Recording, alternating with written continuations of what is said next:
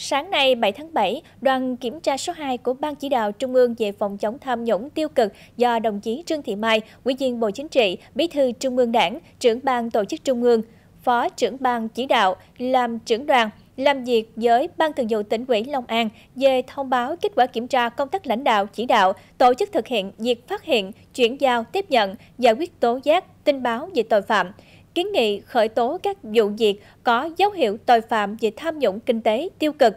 Cùng tham gia với đoàn có đồng chí Phó trưởng ban Thường trực Ban Tổ chức Trung ương Mai Văn Chính. Tiếp gia làm việc với đoàn có Bí thư tỉnh ủy, Chủ tịch Hội đồng Nhân dân tỉnh Nguyễn Giang Được và các đồng chí trong Ban Thường vụ tỉnh ủy, lãnh đạo một số sở ngành liên quan.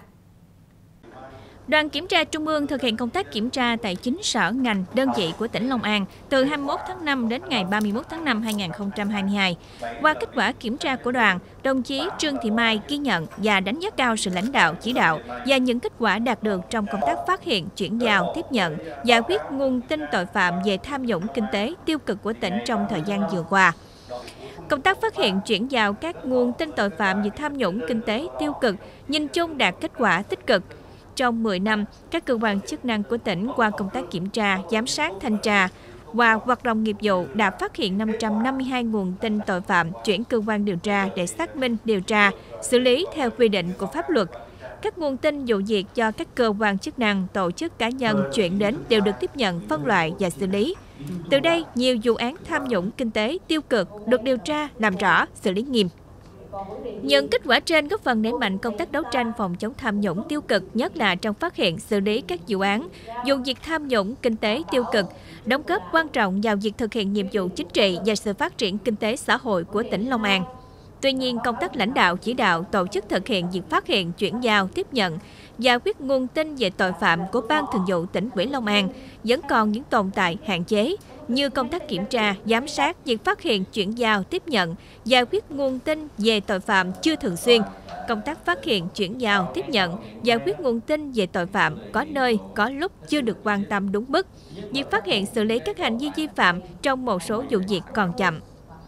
Phát biểu kết luận, đồng chí Trương Thị Mai, trưởng ban tổ chức Trung ương, yêu cầu Ban Thường vụ tỉnh ủy Long An quan tâm lãnh đạo chỉ đạo, tra soát toàn bộ công tác phát hiện, chuyển giao, tiếp nhận, giải quyết nguồn tin về tội phạm. Qua đó, vừa nâng cao nhận thức, trách nhiệm của các cấp ủy, tổ chức đảng, cơ quan chức năng, vừa khắc phục những tồn tại, hạn chế, sai sót trong công tác này.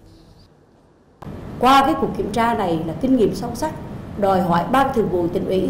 phải đảm bảo công tác lãnh đạo chỉ đạo thường xuyên này liên tục toàn diện đáp ứng yêu cầu của đảng trong giai đoạn mới tăng cường lãnh đạo của đảng đối với công tác phát hiện xử lý vụ việc vụ án tham nhũng.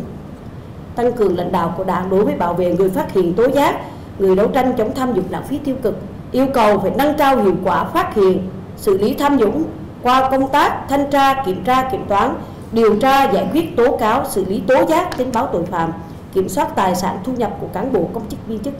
Các cơ quan chức năng trong quá trình kiểm tra, giám sát, thanh tra, kiểm toán, nếu phát hiện dấu hiệu phạm tội phải kịp thời chuyển hồ sơ vụ việc đến cơ quan điều tra thanh tra kiểm toán thi hành án Đồng chí Trương Thị Mai cũng yêu cầu Ban Thường vụ tỉnh ủy Long An chỉ đạo rà soát, xử lý một số vụ án, vụ việc cụ thể, nhất là các vụ việc phức tạp, dư luận xã hội quan tâm.